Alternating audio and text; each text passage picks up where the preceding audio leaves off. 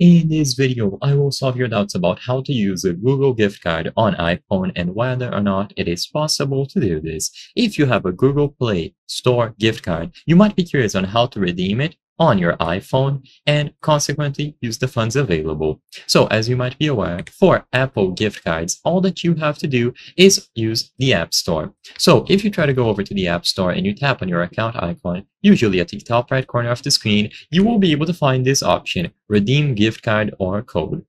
In here, you can input the details about your Apple gift card or use your camera to automatically fill them out.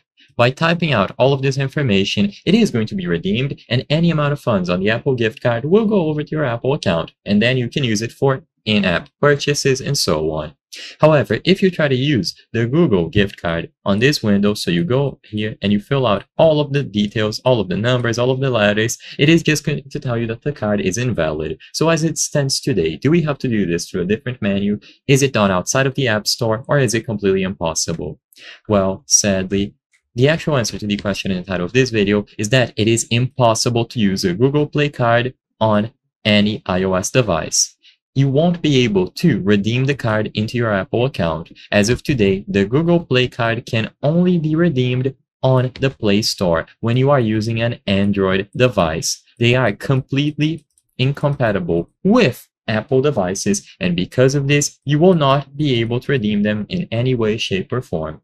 The purpose of this video is not to spread misinformation, but to let people be aware about the limitations of redeeming the Google gift card and how you cannot use it on any iOS device, including iPhones. If you have a Google Play gift card, the best course of action would be to resell it so you can buy a proper Apple gift card and consequently redeem it into the App Store because the Google Play card cannot be used.